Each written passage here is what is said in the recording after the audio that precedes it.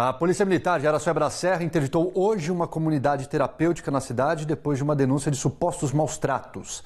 A ação aconteceu no bairro Campo do Meio, com o apoio da Vigilância Sanitária, da Secretaria de Desenvolvimento Social do município e apoio também da Guarda Civil Municipal. De acordo com a polícia, o local funcionava de maneira clandestina e já tinha sido interditado pela Vigilância em julho por não possuir licença sanitária. Depois da nova vistoria, foi constatado que o local continuava em funcionamento.